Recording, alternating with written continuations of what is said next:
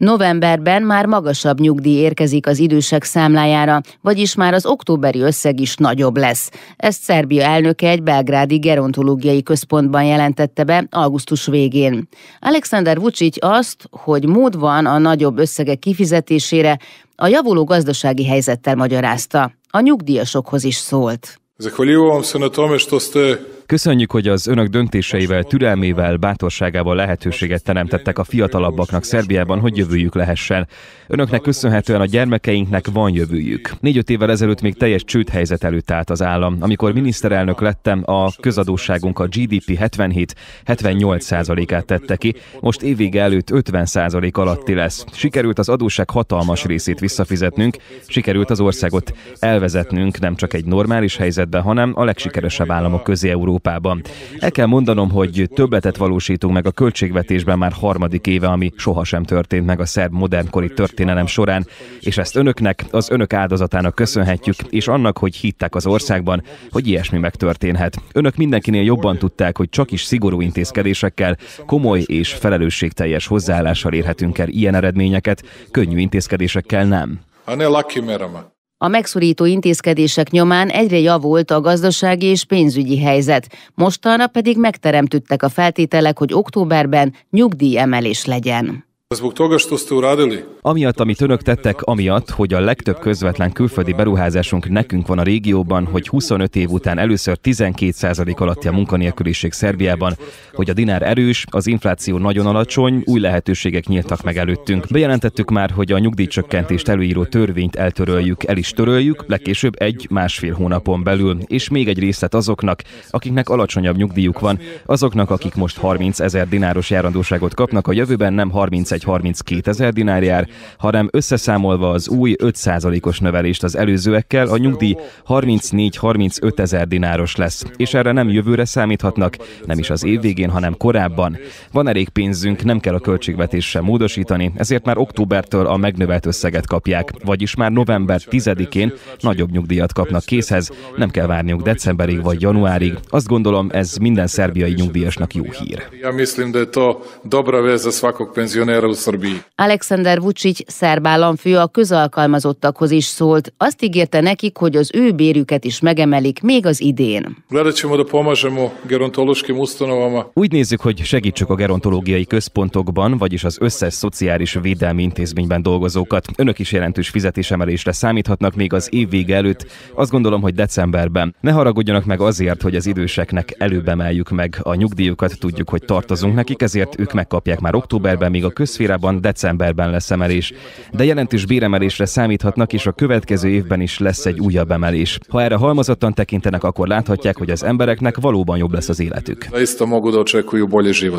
Előbb tehát a nyugdíjasok, valamivel később, az év végén pedig a közalkalmazottak is örülhetnek, jövőre újabb emelésre számíthatnak a közférában dolgozók. Októberben tehát megemelik a szerbiai nyugdíjakat, hogy hogy is van ez, mekkora lehet a nyugdíj, hát ennek járunk utána Zombor Im- Imre közgazdásszal, akit itt a stúdióban közönthetek. Jó napot kívánok! Jó napot kívánok! No hát ugye mindenkit az érdekel, hogy mennyi lesz ez az emelés, de hát eléggé, hát körülbelül számokat hallunk. Lehet-e valamit pontosan tudni? Bejelentettek-e már valamit? Hát pontosat még nem jelentettek be. A napokban volt a sajtóban a hír, hogy Sinisa Máli pénzügyminiszter kijelentette, hogy szeptember 20-án a Nemzetközi Valuta Alap küldöttsége Belgrádba jön, és szerintem akkor fogják pontosítani a számokat, és a, bé- a béremeléseket a közférában, illetve a nyugdíjemeléseket.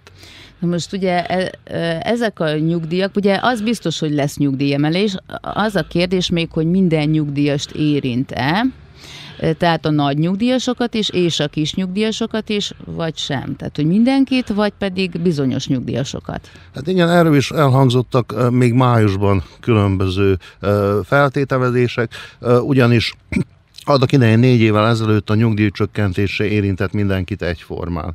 És akkor valójában ilyen szempontból volt a nemzetközi alappal való tárgyalásokon, voltak különböző ötletek, hogy, a, hogy azoknak növeljék jobban, akiknek többet vettek le, vagy pedig arányosan. Szerintem ezek az elképzelések még mind hogy úgy mondjam, legalábbis számunkra nem ismertek. Hát valószínűleg már a szerb kormány oldaláról és a nemzetközi valóta alapról is ki vannak dolgozva a modellek, hogy mik a lehetséges megoldások. Ugye annak idején ö, olyan volt a helyzet, és hát az, a helyzetre vagyok kíváncsi, hogy mi miatt ö, vezették be 2014-ben a nyugdíjcsökkentésről szóló törvény, tehát csökkentették a nyugdíjakat, és most ö, mi a helyzet, hogy végül is ö, emelhetik? Hát, talán adnánk egy kis történelmi kitérőt a nyugdíjakkal kapcsolatban. Ezt a mi nyugdíjrendszerünket, ami nálunk létezik, meg sok helyen Európában, Bismarck német kancellár találta ki. Tehát ő neki volt az az ötlete, hogy a munkaképesek fizessenek be nyugdíjamban, és később, mikor nyugdíjba mennek, akkor a befizetésekkel arányosan kapjanak nyugdíjat. Csak hogy a legalábbis a történelem könyvek szerint akkor az arány egy a hathoz volt tehát egy nyugdíjasra hat munkás jutott. Ma egész Európa, tehát ez nem csak a mi problémánk, az egész Európa elért az egy az egy, egy a kettő arányhoz. Tehát ma ez a Bismarcki modell általában problémában van és általában nálunk sem, máshol sem nem csak a nyugdíj alapba való befizetésekkel pénzelik a nyugdíjakat, hanem a költségvetésből szánnak erre pénzt. De most a probléma nálunk abban volt, hogy a költségvetésben ez e, nagy százalékot jelentett. Tehát vannak európai normák, olyan mm, gondolom 11 százalék körül, hogy lehetséges ez a részvétel, és legalábbis a sajtó elemzések szerint 13 százalék volt nálunk, és eleve a költségvetés is elég nagy hiányjal küzdött. De most arról van szó, hogy időközben ezekkel a csökkentésekkel sikerült ezt lecsökkenteni, ugye, és valójában a szerb gazdaság tényleg bizonyos mutatókban javult, és a megszorítások azt jelentették, hogy ez a költségvetési hiány lecsökkent. Tehát nem az, hogy nem létezik, de lecsökkent, és a Nemzetközi Valóta Alap úgymond engedélyt adott arra, hogy felemeljék a közalkalmazottak bérét, illetve a nyugdíjakat. Most még azt tudni kell, hogy a Nemzetközi Valutalap az egy rendkívül konzervatív monetáris intézmény. Tehát őnek a jelentősége nem is abban van, hogy mekkora kölcsön nyújt egy országnak, hanem amennyiben ő ö, azt mondja, hogy egy ország gazdaságpolitikája jó, az a többi kölcsönadóknak egy jel, hogy most itt lehet üzletet csinálni, itt lehet kölcsönözni. Tehát úgymond a gazdaságpolitika komolyságára ö, ö, raknak pecsétet a nemzetközi valuta alapba. És ő nekik a történelem során, tehát nem most, még a Tito Jugoszlávia idején, és mindig az volt a politikája, hogy megszorítások, ugye, és a köz közköltekezés csökkentése. Úgyhogy, hogyha ők azt mondják, hogy lehet, akkor valószínűleg lehet, mert tehát nem egy olyan intézmény, amely, aki egy könnyen mondja ezt. Most Szerbia azért ugye követi az IMF hát ajánlásait, vagy Igen. hát feltételeit, de vannak országok, például Magyarország nem annyira követi, mégsem állnak olyan rosszul. Tehát ugye ők az IMF hitel lehetőséggel nem is élnek, ugye? Nem, nem, igen. És még, még, mégis elég jól halad Magyarország. Tehát nem biztos, hogy ez az egyedüli megoldás. Hát nem. Hát valójában itt van egy olyan, hogy ugye mind a magánéletben, hogy az ember hogy ugyan alkalmazhat egy önmérsékletet, vagy alkalmazhat egy személyi edzőt, aki előírja neki az önmérsékletet. Tehát valójában a viselkedésforma hasonló, ugye? Csak kérdés az, hogy, a, hogy az országban elég erős a gazdaságpolitika, van-e politikai akarat, ugye, hogy, hogy bizonyos megszorító intézkedéseket, meg bizonyos, gazd, bizonyos, hogy úgy mondjam, monetárisan korrekt gazdaságpolitikát folytassunk. Tehát az ország ezt teheti maga is, de teheti az IMF-fel is. Tehát nem föltétlenül szükséges ezt velük csinálni. Most hallottuk, hogy Szerbia mutatói, gazdasági mutatói és pénzügyi mutatói egyre javulnak. Ez azt jelenti, hogy valamikor a múltban ugye még jó, jó mutatók voltak, aztán ugye romlottak a mutatók, és most visszatértünk ahhoz az állapothoz, vagy ahhoz képest is jobbak a mutatóink? Hát valójában itt arról van szó, hogy a, a közvérában is, nem csak a nyugdíjak, azt mindannyian ugye a mindennapi életben is tapasztalhatjuk, mikor azt mondják, hogy a községházán már nincsenek olyan jó fizetések, tehát ezt mind, mindannyian látjuk, hogy a közférában ilyen leépítések történtek, és valójában lecsökkentek a fizetések. És ez általában minden ilyen költségvetésből finanszírozott, hogy mondjam, intézményben így volt. Úgyhogy tényleg egy me- megtakarítás van, és valójában tényleg hogy, hogy mondjam, az előző periódushoz képest ezek a mutatók jobbak. És volt egy pár beruházás is a szerb gazdaságban, ugye, ami azt fellendítette.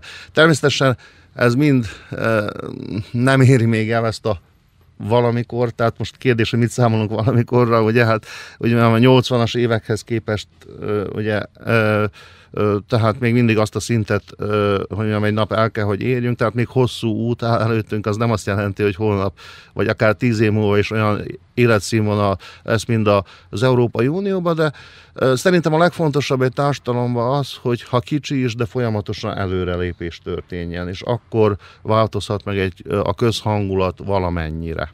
Tehát, hogy úgy mondjam, a mi szűkös, szerény kereteink között van előrelépés, de természetesen ugye a, az embereknek sokkal többre van szükségük, de ezek a reális lehetőségek.